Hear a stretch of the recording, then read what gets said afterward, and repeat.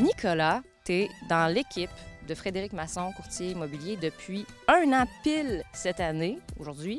Comment ça s'est passé ta dernière année, justement, dans le domaine immobilier?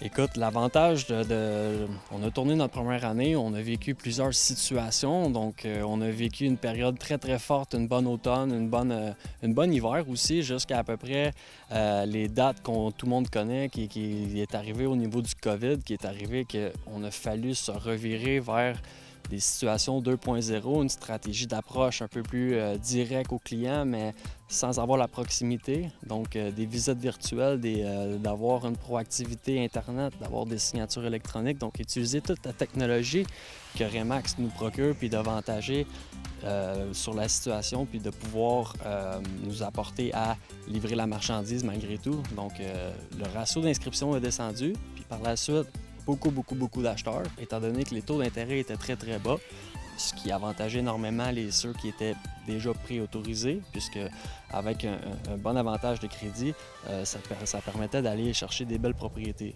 Euh, actuellement, on voit un marché qui est très, très, très agressif.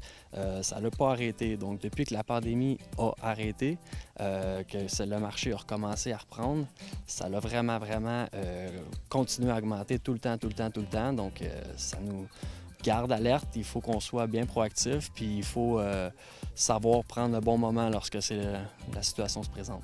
En terminant, euh, une qualité que tu as qui ferait de toi en ce moment le meilleur courtier, tu dirais c'est quoi ta qualité principale? Ben, je suis une personne qui est extrêmement sociable et très à son affaire. Donc, de ce côté-là, ça me permet de me lever tôt puis de pouvoir faire beaucoup de suivi de dossiers, puis ce qui me permet d'être bien proactif puis d'avoir un enthousiasme.